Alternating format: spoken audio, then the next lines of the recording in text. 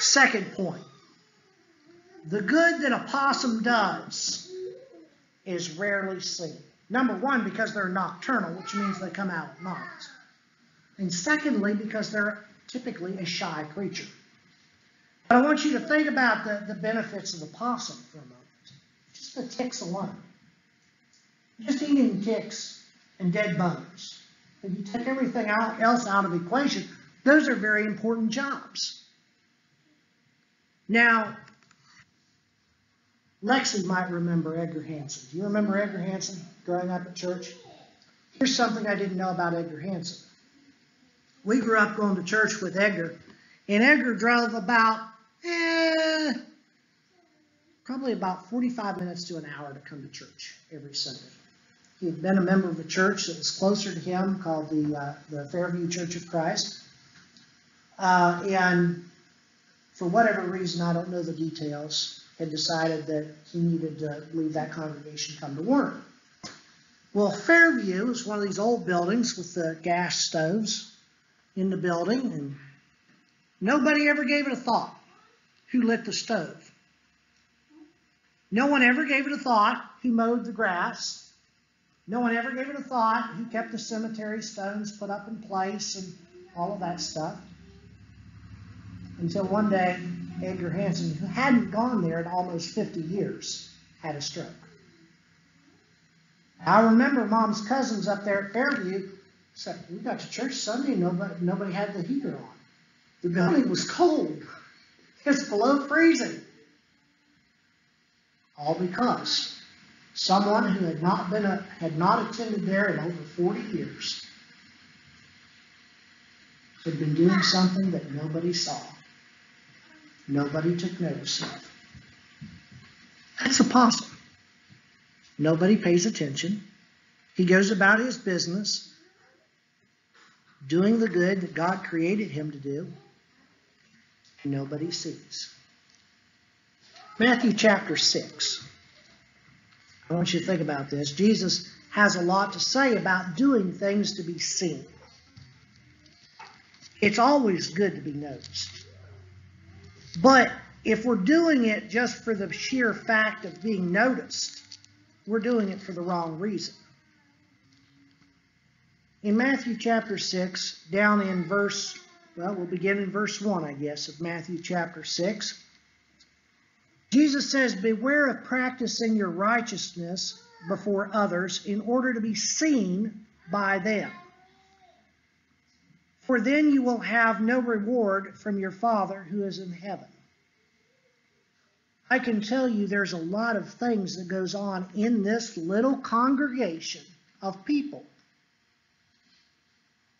There are people like Dennis, who goes to the hospital and hands out cards with service times and invites people to come to church. Now, I don't know about you, but when I'm laying in the hospital bed with a heart that's not pumping right, fluid building up, I'm not sure that's where my mind would be.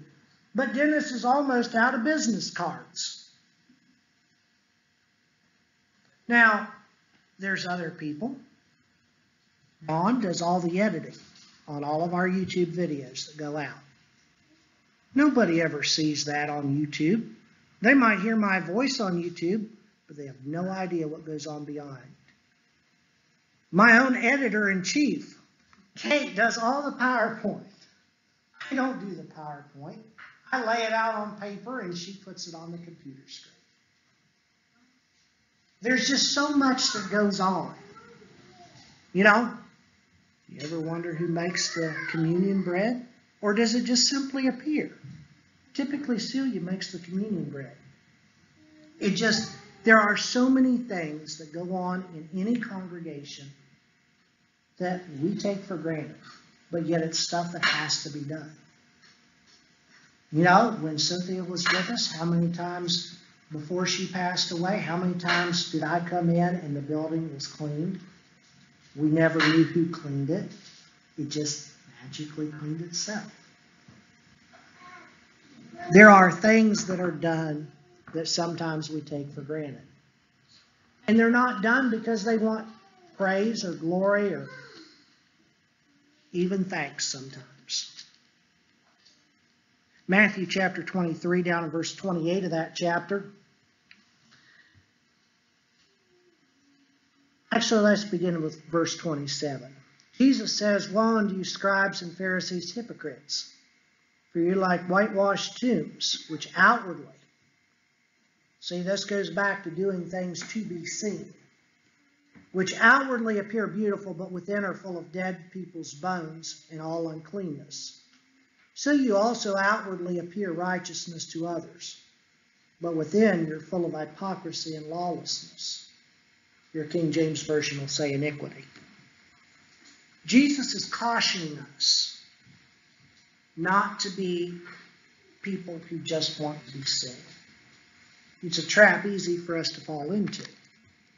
And again, back in James, this time in chapter 2.